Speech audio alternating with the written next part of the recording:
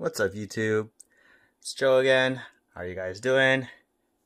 As you can see, I got a new toy. It's my nice little steady cam. uh, so, uh, welcome back. I haven't been uh, posting regularly as I wanted to. Uh, so today is a bit of an update as well to answer a few questions that I posted online about, you know, things that I can talk about not only about myself or just things that you guys are uh, curious about. So I also wanted to show you today how I made one of these guys here. This one here. So this is uh, like the first time I ever did a DIY. Uh, this is a basketball pot. Uh, right now, don't look at this part. It's really from here downwards. Um, but I'm gonna show you guys how I made this. Uh, very funny story how this all began. But to sum things up, uh, it was just very expensive to get it already made. So I'm gonna show you guys how I did it. Um, and hopefully you guys can enjoy that uh, little tutorial. So, uh, here we go, all right? So we before we before we start, I want, went ahead and bought a indoor basketball net that I found on Facebook Market, really cheap. Unfortunately, it didn't come with an its own ball, so I went ahead and found a smaller size. So this one is a size for kids basketball. The black one that I had uh, that I showed a little bit earlier, uh, that is the uh, I guess the normal size, the one that nor uh, adults use. I don't know. Uh, so it's not gonna fit. So a size 4 just fits right into the hoop, um, but it won't go all the way just because the net itself uh, catches it. Uh, so yeah, like uh, just make sure you get a right size. Otherwise, if not, um, if you end up buying your own, it'll come with the ball itself. Alright guys, so before we do anything, you want to make sure your ball is clean. Uh, so this one I actually found at the thrift shop. So I was fortunate to find this size. For some reason, this is really hard to find. But anyways, found it. And then the next thing you want to do is have all your equipment ready. So you're gonna get some scissors or an X-Acto knife and something to drill in. So I actually got a, a drill that we're gonna use uh, just to create some drainage holes if you wish. Um, and in this case, I'm gonna make some drainage holes. Uh, so, first thing I'm gonna do is you wanna make sure you have the size of a pot you want to do to cut the to cut this in. I think I'm gonna use a six inch. I think this is six inch. Uh, so you're just gonna place on top, all right? And then you're going to just trace a line. So what I did is I did I went right ahead and there you go. We got and then what you want to do next is just to cut it, okay? So while I am doing that, I'm going to use a drill and just go right away. So be careful with this. Um, so what I'm going to do is uh, just find a little section here. Uh, what was my first plant that I had for, uh, what was my first plant? And how long have I had it? And um, I've brought this up before, but the first plant that I ever had for myself uh, was a snake plant. I think that's like everyone's first ever plant, especially um, if you ever receive the plant for the first time um, or you go out and ask like you want to start with. Uh, you want to start keeping a plant and you're not sure what to start off with because you know you're scared of like not taking care of it I can honestly say the snake plant was the best choice um, and also a plant that was easy for me to take care of. Uh, so I got that as the first plant and that was um, probably since March, April of this year. And since then it's grown, grown pretty tall now. So I got a really big plant. Like I didn't like as much as I like the like one leaf type of thing like this one here. Um, I like I'm a little bit more bushy and I wanted something that's very big and I guess very like first thing you see, uh, first thing you look at. So I got a snake plant. It's uh, black and yellow. Uh, sorry, black and gold, I think. Um, I don't know the actual name of it, but that was my first plant, and since then it's growing now. So that's like what? March, April, May, June, July, August. Nine, mo- nine, nine months now? Almost a year. Not really almost a year. Three more months till a year. One year old. Um, so yeah, that's my first ever plant. My first ever plant in the home at home is this point uh, one an orchid. We had that for I don't even know how long I had that, or in the house, um, and that was probably I want to say like 10 years old. It, it it still looks the same. If anything, it keeps growing out the uh, stems for flowering, but we always trim it out just because like, it's just going out of control. Um, and yeah, that's uh, it's an orchid. Here we are. I just trimmed it out. Really easy. Okay. Um, and what we're gonna do is just double check the size and if it fits. Okay. There you go. Okay.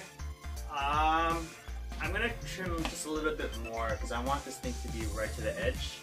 And then what we're gonna do from there is we're gonna super glue this. Okay. So what I like to do with this, and I always like to glue in and create this as a one whole pot as opposed to like this, this. Like you can do it this way, it's just um, what I like to do is have something to carry it on because let's just say I have this size and for some reason I'm not ready to have a the size of this plant I want this thing in. So at least even though it's like a little bit bigger, um, at least I could put smaller pots in there and it'll still be fine. Okay, um, so yeah, so I'm just gonna trim this guy out and then I'll answer the next question. Um, so knowing that plants have different families, uh, what uh, family of plants would I never get? Uh, so I'm not like, I don't know everything but there's certain things that I don't, uh, certain type of plants that I don't, uh, go to a nursery and that's the first thing I look at. Um, so that would be like cactuses. I'm not a huge fan of that. Succulents. I think the reason why is just they're so small and um, they're I don't know. It's just not very attracted to me. And like I've seen stuff online where you see like succulents, they like they look almost like candy-like, and I guess that looks pretty great.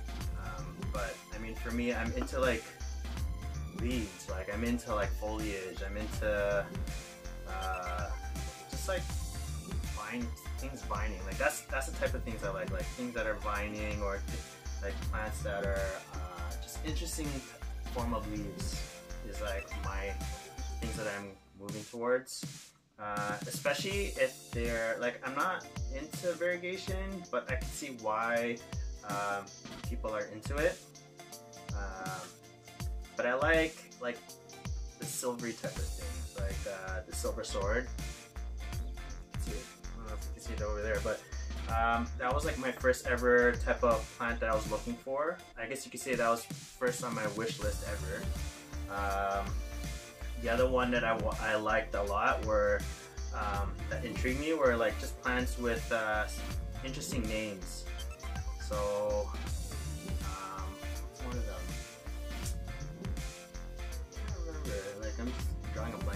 but like. Oh yeah, okay, so like, for example, my philodendron uh, 69686, I thought that was a pretty crazy name, like, and just hearing the history of how that came up, um, it just sparked my interest to get one. Uh, so that's one of the things I like. Um, but yeah, going back to the question, like what type of families I wouldn't get, I guess it would be like succulents and cacti. Um, don't know the actual term and not like the correct family name for it. Um, but uh, I'm not into flowering plants. Like I know all plants flower, but like um, so for example, like I'm st- I, the only exception would be orchids, but right now like it's just it's still on the back burner. but I, am not into plants that have that are known for their flowering. Because like I find flowering just depending on what it is, but I find that the only time flowering happens if you give it the right conditions. And some uh, flowering plants, for example, like the Christmas cactus, like that only flowers during the holidays, hence why the name Christmas cactus, or like the Thanksgiving one or the Easter. Like those ones only flower during those type of seasons. And I mean, it's great. It's just like for me, it's like I want to see it every day, kind of thing, right? But I mean, the one exception is also not just orchids, but the uh, Hoyas. Like, but with that one, the leaves itself, the foliage of it is actually still like I'm okay with. And then the flowering is like a bonus for me. And also like they're really easy to take care of. So it's like a whole win-win. Like they, they vine like crazy. They there's a bunch of leaves in there. Um, and yeah, there's like just a huge variety. So for like if you like the flowering, but you also want something that looks great without the flowering, I would definitely say the Hoya is, um, is definitely something you should look at. Someone asked about my gains. Uh, gains are steady. Pandemic sucks because I'm very used to having a full functioning gym. I have my own setup, but it's just not the same. But I am surviving, so that's that. Um, and then last question I have is the benefits of propagating in sphagnum moss versus water. So I find different plants do well with different conditions when it comes to propagating. Um, but when it comes to propagating or just rooting stuff, the one thing you want is to make sure they're able to root. Uh, so, and also you want to make sure they're in proper conditions. So humidity and the heat. I think it, so. You want to treat your propagating almost like um, like you're seeding. You're growing from a seed, and most uh, germinating process requires a little bit of heat and moisture. So with that being said, like most plants do well in both. I find the most safest way from preventing root rot or just uh, just rotting from uh, propagating to be very successful. Um, I find it very easier, very easy to do it in sphagnum moss, uh, just because there's, there's uh, constant moisture, not just from the actual moss, but um, just in the environment that I put it in. So I actually use a propagation box uh, with sphagnum moss and a little bit of a water tray and just to create a greenhouse effect.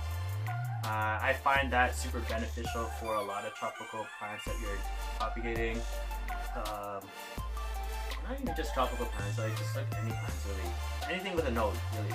Uh, with water, I know uh, pothos do really well in uh, water, uh, so I usually do that.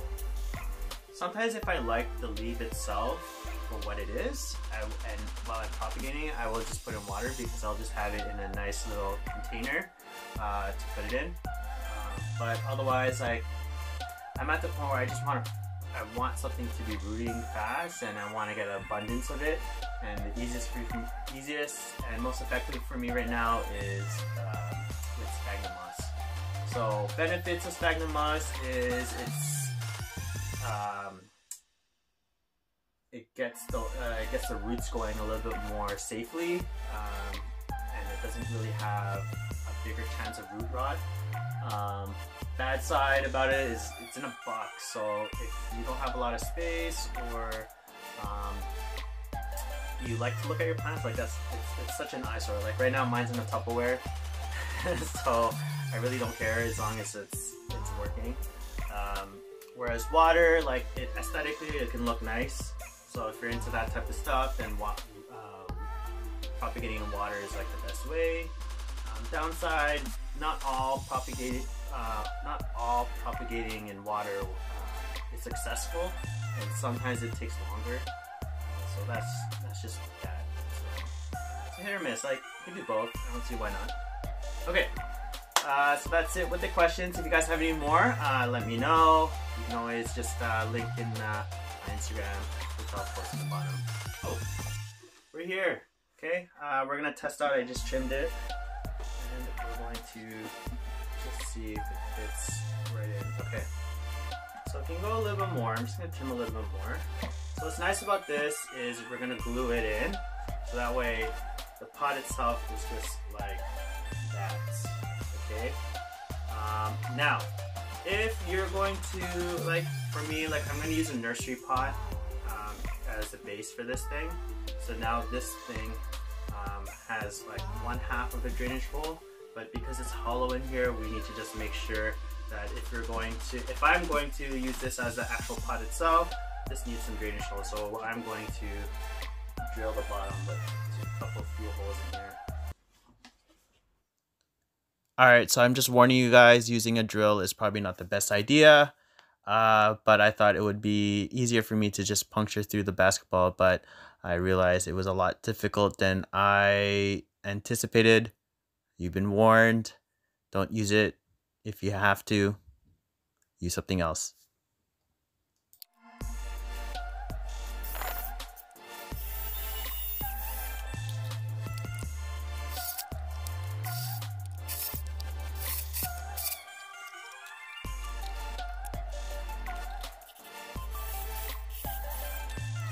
Was a bit of a struggle, but it is done. We're going to glue this guy right on, and we are pretty much done. So we got a little bit of holes there. I didn't put too much. I'm gonna do a little bit more later on. I didn't realize the struggle this to drill uh, some holes in here. I'm probably just gonna cut the holes a little bit more wider so the water can come out. Um, but otherwise, this is basically done. Okay, so that is uh, that. Okay, so really simple. Just need a ball, a pot of size of choice, um, something to cut it with, and presto, you are done. So. Guys, I really enjoyed making this one here. As you can tell, it came out really well. I hope you guys also do something like this. I'd love to see it. Um, but yeah, feel free to comment, give a like, and I would love to see you guys subscribe. Um, and I'm hoping to see you guys in my next video. Thank you.